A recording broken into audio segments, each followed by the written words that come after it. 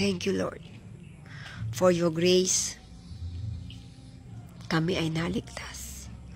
For your love, kami natuto magmahal. For your forgiveness, kami natuto magpatawad.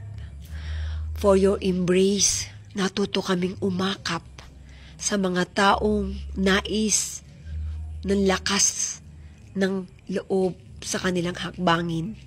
Pananampalataya na sa isang takip at yakap at sabihin, kapatid, mahal ka ng Diyos.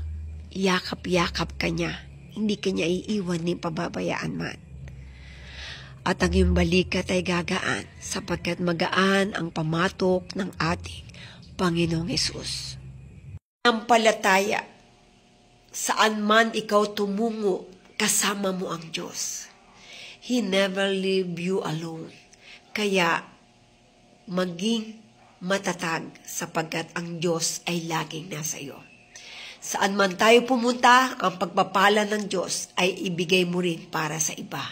Matibay na pundasyon kung gaano kataas man ang ating building, building na pinakikita kung paano ito nagawa at kung gaano ito katatag. Ganon din ang nasa puso ng bawat pinili ng Diyos. Mga Kristiyano na umibig sa ating Panginoong Yesus, ikaw ay templo ng Diyos nananahan sa puso mo ang ating Panginoong Yesus. Kaya lahat ng bagay makakaya mo. Sapagkat ikaw at ako ay pinili sa kanyang ubusan at ikaw ay itinangi ng Diyos.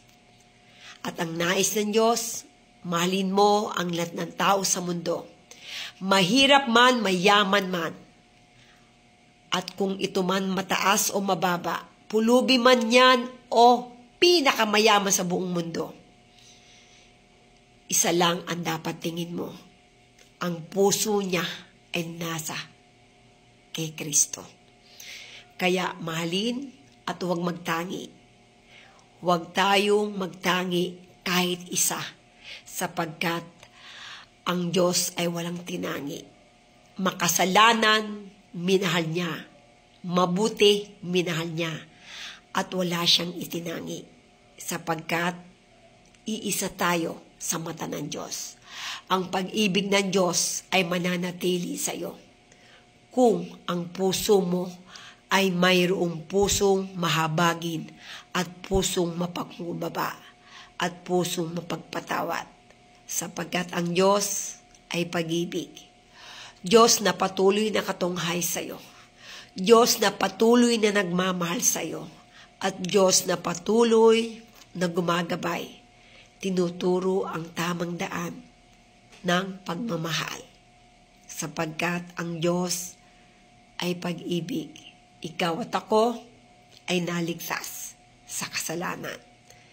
Kaya, brother and sister, mahal ka ng Diyos. Nasa ibang bansa ka man, alam ng Diyos ang buhay mo at buhay ko. Kaya, be a great, great warrior of God. You are the ambassador of God. You are the army of God. Thank you. We love you. Amen.